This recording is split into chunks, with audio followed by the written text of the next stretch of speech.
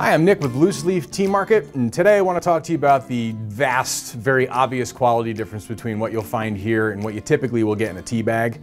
Um, so, for example, this is chamomile. And this is an herb that we use often in a lot of our blends. Uh, we tend to order in small batches. We order organic ingredients. And what you can see is that these chamomile flowers are pretty well intact. It's because they haven't been crushed and run through machinery. They're also very fresh. So I always encourage people to do a couple of things if they want to take a look at the difference in quality between what you find here and what you might find in a bag.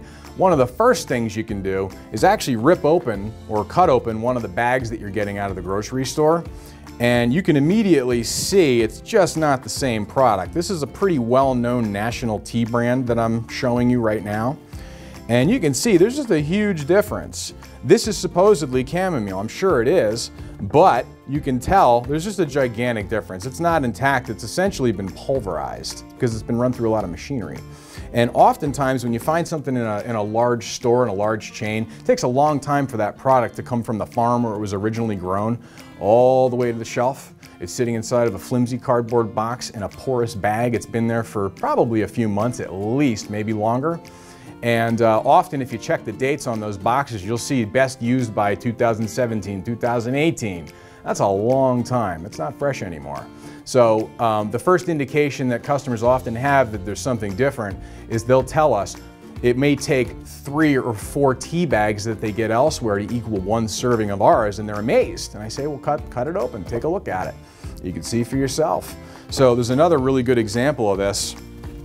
I'll show you one of our uh, blends that we use as a detoxification support. Uh, it's called Wild and Weedy. This is it right here. You can see all those nice, big, beautiful leaves. It's all pretty well intact. And again, um, hand blended, handmade, no machinery. Been, these are our recipes. Uh, my business partner Kita came up with these years and years ago and they've been doing well ever since. Um, and again, here's another very well-known national brand. This is their daily cleansing blend. That's not what it's called, but uh, that's kind of the function of it. And you can see there's just a giant difference. Um, you can taste it, you can smell it, and I'm showing you, you can see it. So uh, we're very proud of the quality that we provide. We believe in it, and we want you to benefit from it. You deserve it. So happy steeping.